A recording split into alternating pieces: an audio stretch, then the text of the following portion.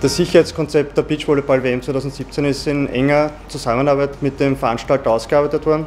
Also wir haben im Einsatzbereich am Veranstaltungsgelände haben wir natürlich uniformierte Kräfte, wir haben auch zivile Kräfte. Also es erfolgt einerseits die Aufklärung als auch die präventive Präsenz der Polizei und sollten natürlich von, von Veranstalterseite polizeiliche Unterstützung gebraucht werden, sind wir natürlich auch vor Ort.